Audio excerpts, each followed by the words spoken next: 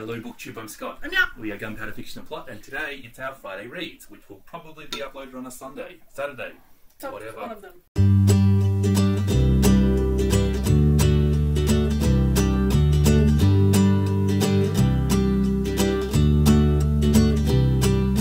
So, last week I didn't do a shout out, and I said I was going to do two shout outs this week. Firstly, I want to say, like, last week I said I, I was a bit behind on BookTube, um, and one of the first things I did was watch Claudia at Spinster's Library's Task Mistress video. Ooh, that was good. Um, and Claudia doesn't really need a shout out because she's massive, but everybody who hasn't watched it yet should Yeah, it was good. watch it because it, it when somebody does a special video like that, it deserves recognition, and it was really good, and and people should watch it and enjoy the the amount of effort that would have gone into that. You know, And just it was a good, entertaining video. it was very funny, and it's based on the Taskmaster show, um, which It's funny. which is funny, and yeah. yeah. Um, shout out number two. So I've gone for um, one of the booktubers we subscribed to first, to one of the booktubers we've subscribed to last. As in most recently. Most Not recently. as in it all forever. Last week, um, on Sean the Bookmaniac's Friday Reads, he shouted out DJ at Indian Cooks and Books. Oh, he's so good. And oh yeah, I tell you what, we subscribed, and I just want to like reinforce that shout out. So if you didn't subscribe to DJ when Sean shouted him out, Go and subscribe do it now. now. His taste in books is just Scott agrees with his taste in books. that's, Therefore, what the it's correct. do. Yeah. Um, I really like the way he uh, gets behind a book that he likes. Yeah. You know? Enthusiasm. Plus, plus. Yep. Really good. All right. Um, now, finished this week. Now, how many books did you finish this week? I finished two. Nice. What did you finish? Tell me about that. Uh, I finished Detransition Baby, which feels like it took me like months, but it didn't actually take me that long. Um, Did you like it? yes. But I feel like I would have liked it more if I read it before Daryl. Yeah, I was a bit worried about that as the order that you've read them in after I.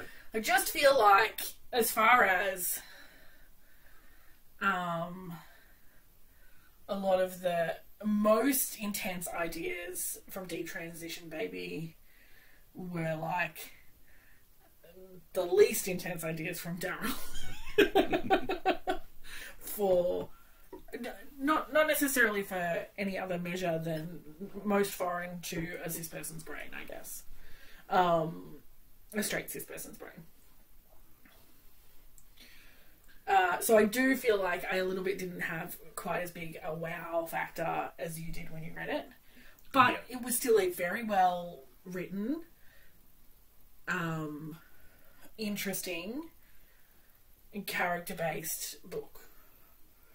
Yeah. Uh, and so it was enjoyable and like right up there with my top reads of the year for sure. So it's a really good read. It's a really good read. Just I just eclipsed by something even better. yeah, I just think it would I would have I would have gotten that real rush from it if I'd read it before I read Daryl. And is this the first time you've read millennial fiction? Oh, I don't I don't know because I think that's a dumb term. Sorry. Um,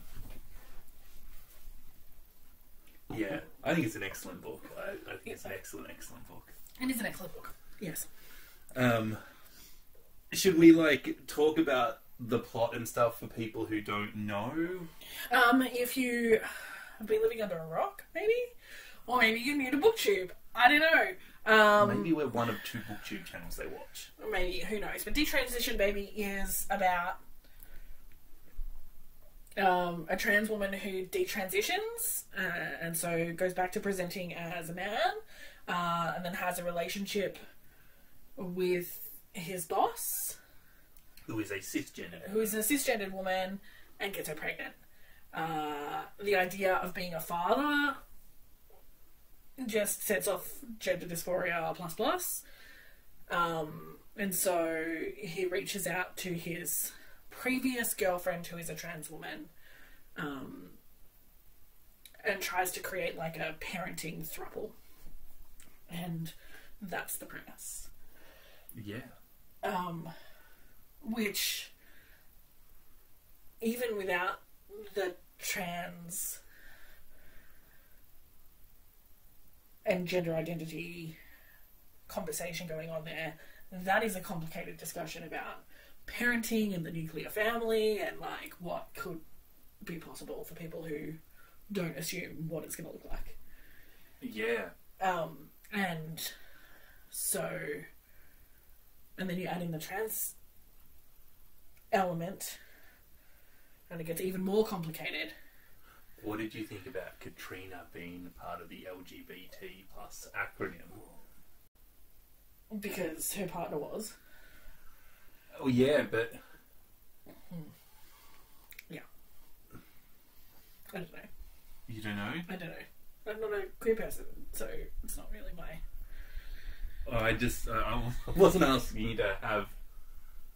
I wasn't asking you to say whether that was right or wrong. I was just I just thought it was a really interesting,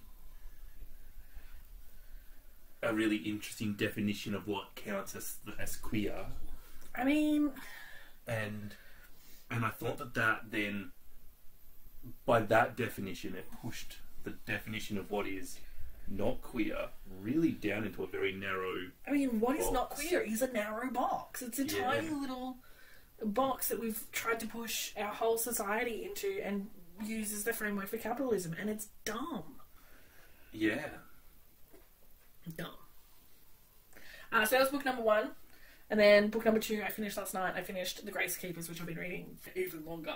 Um, which was an enjoyable book. It's about, um, it's set in like a, like a water world, like a post climate change environment, except it doesn't really imply that it's. Well, I mean, I guess it does imply that it's post a uh, sort of slow apocalypse and water levels rising and all that sort of stuff. And then we follow two characters. One um, woman who has never lived on land, and um, she is part of a traveling circus that is a boat that goes from island to island because that's all the land that's left are these tiny islands. Um, uh, and she dances with her trained bear um, and they live together on the boat with all the circus people. So that is one character, and then the other character is a gracekeeper, hence the title. And a gracekeeper is Kevin Costner a gracekeeper is like a funeral director, but for um, they call people who live on water damplings. And there's like a real class divide between damplings and landlocked people. uh, Damplings under or over No, they all live on boats. Oh, under or over, they're they're the they're the shit kickers. They're they're the underclass the underclass, the Yeah. people who have land and therefore can grow food. um, uh, are the of the upper overclass class. yeah Um, but damplings aren't allowed to be buried on land, so they have um, their own sort of funeral ritual, um, which is overseen by a gracekeeper. And so the other character is a gracekeeper who is actually from landed people. yeah Um, anyway, so the two meet and then things happen. So, yeah, it wasn't like definitely compared to the other things I'm reading at the moment, it's not super serious, but it was um, sort of a look of what our world might eventually look like. Um, I really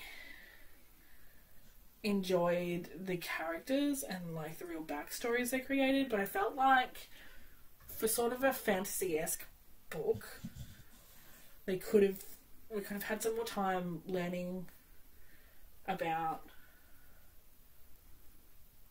even like the ritual that the Gracekeeper oversaw. Like we sort of got a, a vague idea of what she did, but there was no real lore behind it or that sort of exploration that you often get in sort of a more fantasy based novel.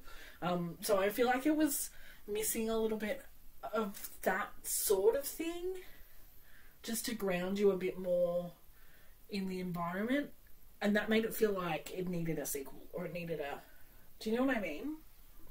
mm. Um, but I really liked the characters and um, it ended well, and it it was fun, but it just felt a little bit light, I guess. That one is recommended, but not quite as strongly as Detransition Baby. Or Yeah, it's Yeah. a good book, just a bit lighter. all right. Now I have read a bunch of books for a secret project. Secret so project. I can't talk about them. But It's a secret. let's not talk about it. But I do have books to talk about. Um, I deliberately read books to talk about on Friday reads. Uh, just shut up and talk about books Um, before I punch you. I finished White Teeth by Zadie Smith. Mm-hmm. I feel like this was a slow burn. Um, Now, I want to know is slow burn code for boring as shit until the second half? uh, it, it wasn't boring. It wasn't boring, but I, I won't say that the second half was better than the first half, but it just took me a long time to get into this book. Yeah. And when I got into it, um, I think I spoke about this book on our la- a video last week about it, and Courtney said that she DNF'd it after a hundred pages or something about there, that she couldn't relate to the characters, and I got to tell you, I completely understand and empathise with that point of view Yeah. because I was pretty much there and I was considering DNFing it at that point. And I'm glad that I kept going because more characters are introduced, and then there's too many characters in this book for me, but they weave this really interesting, elaborate web. Like, you know, you know when one character is relatively pointless until you like look at them in the context of what other characters are there and how they what the individual characters portray. Um, this is sort of like a portrait of Britain in the um, late 80s and early 90s. Um, it focuses on the Indian, Pakistani, Bangladesh, she like the subcontinent culture, but it also focuses on the Caribbean culture and the white culture, and it's showing you the like the interactions and the differences between those cultures, and that, I found that quite interesting. Um, and it's it's about religion, and it's about so many different things. It's a very complex novel, and whenever I say one thing about it, I'm like, "Oh, but it's not really about that. It's you know, Yeah. there's a mouse in it, and science, and um, anyway, I ended up quite enjoying White Teeth, and it, it definitely came back for me once I started to appreciate some of the things that were going on. Really. Cool. Um, then I read Exciting Times by uh, Naoise Ronan, uh, sorry, by Naoise Dolan, and I quite enjoyed this book too. Um, this is about a young Irish girl living in Hong Kong, and she is in a relationship with a man who is quite a few years older than her. There is a real power difference between the two of them. Um, and the relationship is very broken in that he doesn't say that they're in a relationship, but she is living in his house rent free and having sex with him. Right. Um, that is the first part of this book, and and you get to see that relationship and where that's going to go, and then he moves to London as part of his job for a bit and keeps his flat in Hong Kong where she's living and pays for it, leaves his credit card there, and you get to see what she gets up to without the credit card. And, um, sorry, Without the supervision. without the supervision of her not boyfriend, Yeah. which may include meeting a girl. And uh, then the fireworks and the interesting part of the plot happens when he returns and she has two different relationships that are incredibly different going on at once. Mm-hmm. Um, this was really quite smartly done with the conversations about racism and class. I've seen a few reviews of this saying that it is racist, and I think that that's completely wrong. A book can have racism in it without it being racist. I think that that's an important distinction that your characters can Yeah. be racist as a demonstration of racism without that being the book is racist. Um, and that is my interpretation of it, but I've seen other people interpret it differently. So I will put a, a little warning out there. It does compare the plight of the Irish to the plight of the people from Hong Kong and China, and that is an interesting comparison, and it's an interesting discussion, and I really liked that. But um, yeah, I thought this a really interesting book, um, and I I'm quite happy to have read it. Um, and then the last book I finished this week was Ottessa Moshfegh's Ottessa Moshfegh's My Year of Rest and Relaxation. I thought you'd already read this. Uh, I've been meaning to read this for a while. Um, and this was absolutely excellent. Um, this is about a woman who is so over society and her life that she decides to sleep for a year. I mean, I hear that. Yeah. Oh, she was an insufferable, horrible character, and I related to her so much, which is not the right thing. but she's a misanthrope. She is just. I mean, and you see what I have to live with. I, I wouldn't say that I agree with everything she did in it, but there have been times that I have been tempted. The cops. No, it's ambulance. It's the ambulance. Oh. Yeah. Yeah, there have been times where I've been tempted to take a dump in the office of my ex-employer too. um, I thought you were going to say in the office of my factory, and I was like, of my current dude, employer, we sell food. who is myself. Yes. Um, Oh, terrible and terrifying. um, this was just a wonderful depiction of depression. Um, there was this lovely friendship in it um, that was equal parts horrible and lovely, depending on which part of the friendship you looked at it from. Like, Oh, great. um, yeah, but I just the character portrait that this was was I really really liked it. Um, I thought it was it was complex and it just it saw something that not a lot of people get. Um, and obviously, it's you know it's a story about substance abuse and depression as well because how do you sleep for a year without Some kind of substance. Um, I think the criticism of this book has to be the heavy-handed and abrupt ending, which is really, really obvious what's happening. I mean, Yeah. if you think about when this book is set and where this book is set, the ending is just—it's so obvious what how it's going to end. Is is all like it's it's set in New York in 2000 and 2001. How do you think it's going to end? Yeah. Um, like. Yeah. Yeah, like um, it's very heavy-handed, but I think a lot of books struggle with the ending. At least this book knew where it was going to end and made an effort to I don't know if that's an at least, but okay.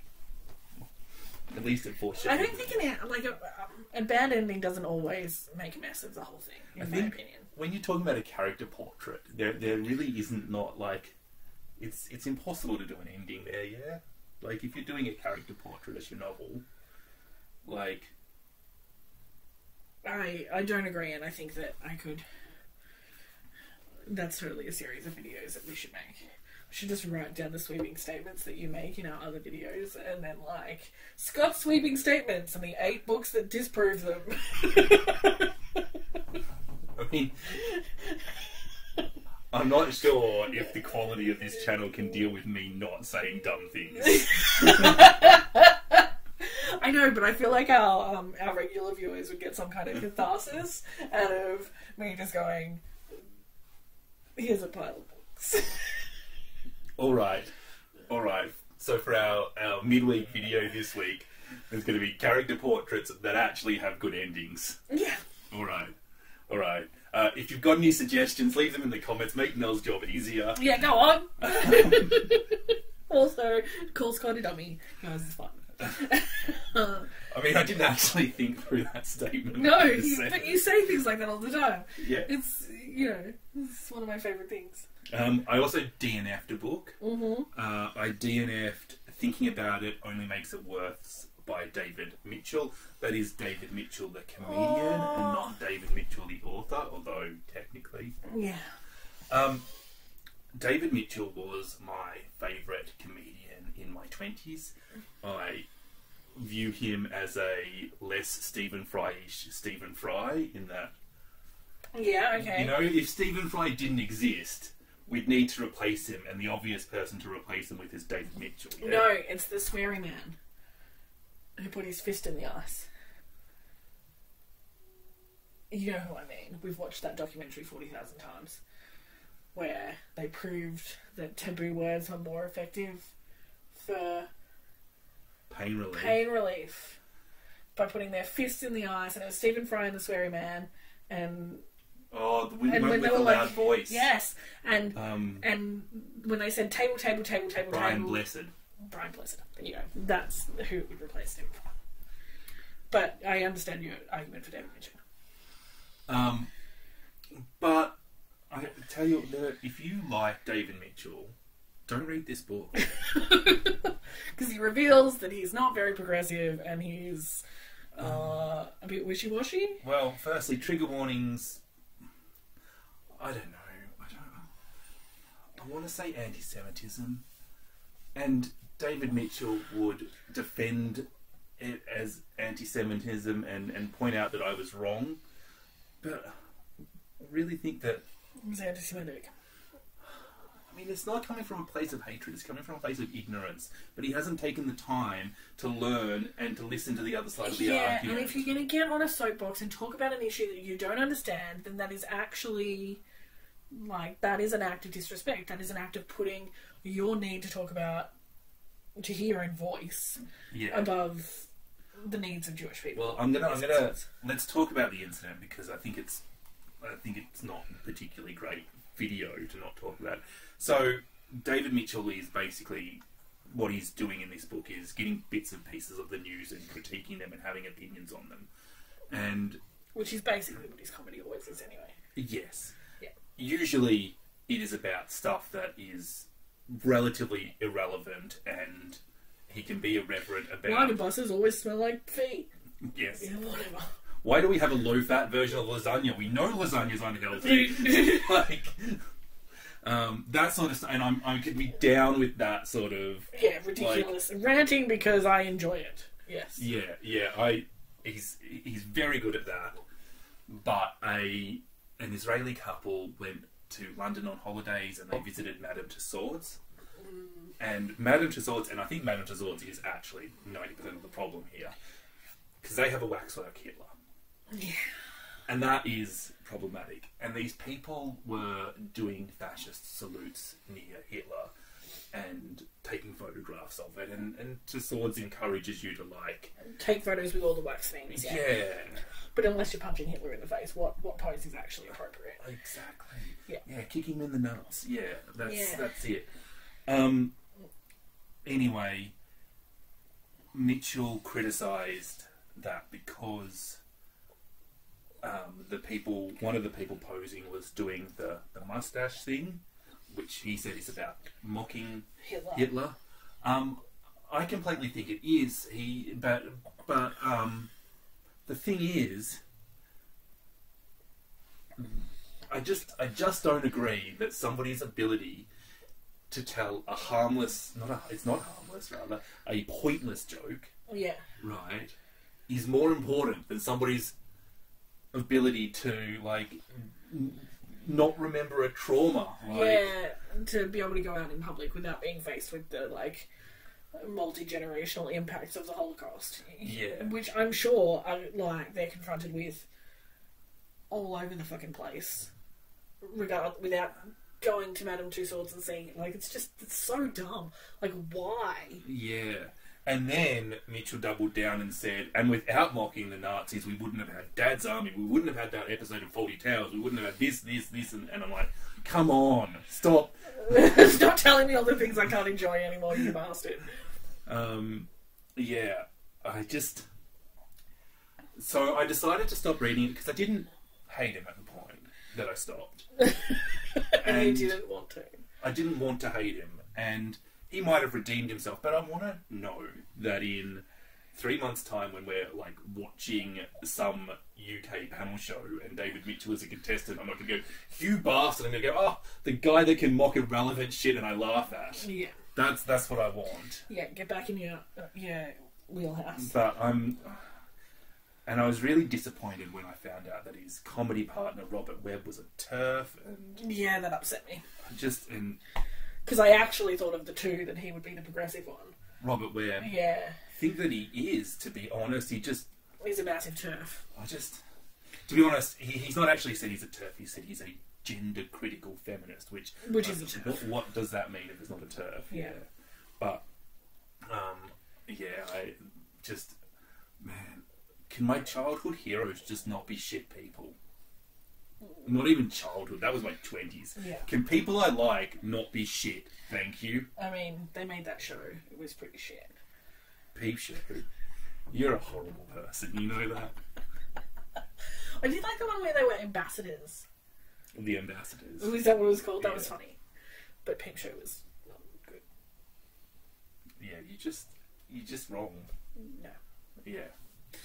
Um, are you gonna play the game now? Immediately prior to filming, we watched a couple of YouTube videos. Yeah. One was Sean's Friday Reads, which he shouted out a channel called Shelf Possessed. Shelf Possessed is a couple talking about books, Which we love. which uh, I tell you, like we're just biased towards Yeah, it's a good thing. checking those things out. Anyway, we watched uh, their TBR, um, and they did this cool thing. They're an excellent channel, and you should check them out. But we've only watched one video, so. Um, but they did this cool thing with on their TBR. They gave each other a present, and it was a book, and the other person was going to read the book. That month. So once a month, they give each other a book and they set a TBR. Yeah. So what we decided to do was to make a game out of that, like to take that, And turn it into a game. turn it into a game. We're gonna see how it goes this month, and we might do this semi regularly. So- Maybe. See how it goes.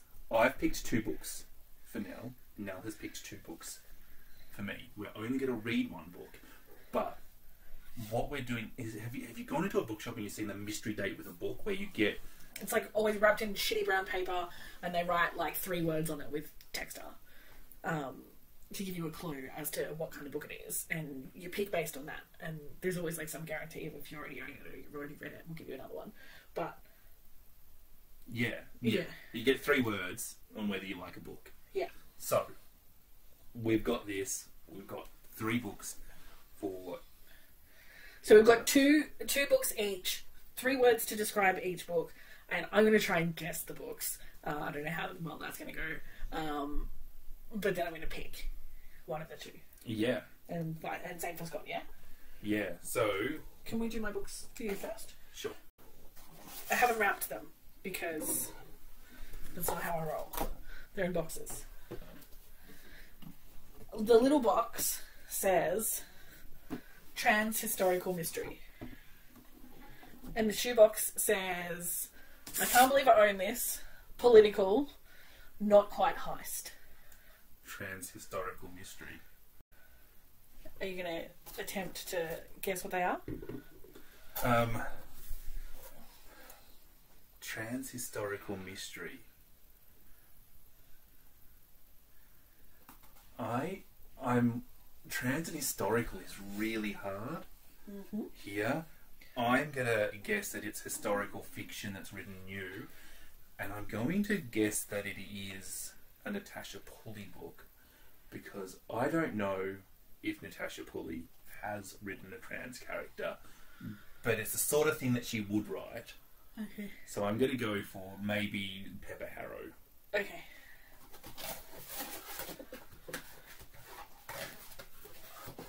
Confessions of the Fox by Jordy Rosenberg. Uh, Johnny Rosenberg is a trans author. So I got it wrong. Yes.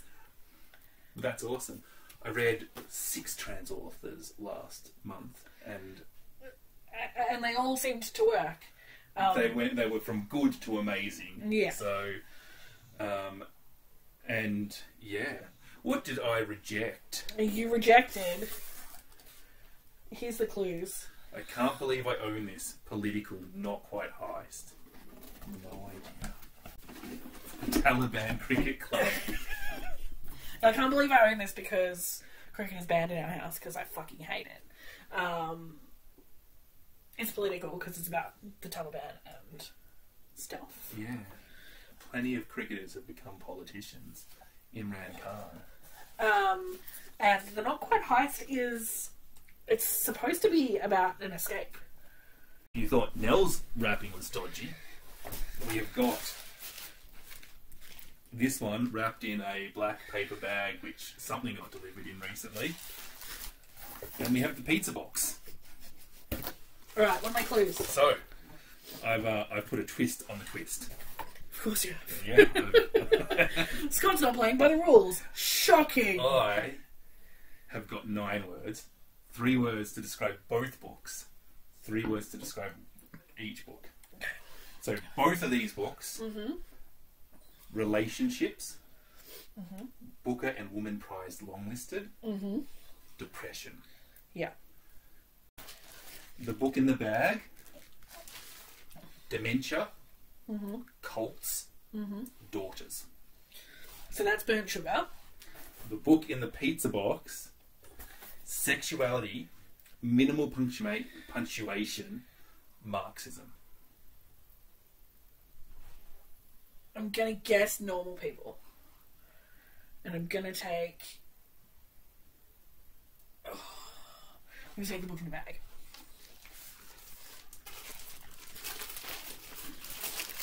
He looks very pleased, which makes me think I got them wrong. Burnt sugar! I'm correct.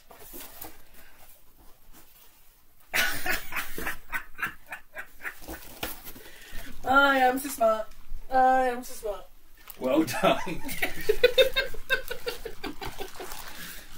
that was that was quite impressive that you got normal people. I thought you'd get burnt sugar because cults, daughters, Dementia. dementia. Like I thought that that was that Yeah. was quite guessable. So you're going to read burnt sugar. So we read Burnt Sugar. Yeah. And you're going to read The Confessions of the Fox. Yeah. Um. I think that's it. That's it. I think you just stolen. I am, and it's gone on for quite long enough. This video. Yeah. Okay. I love you. Bye.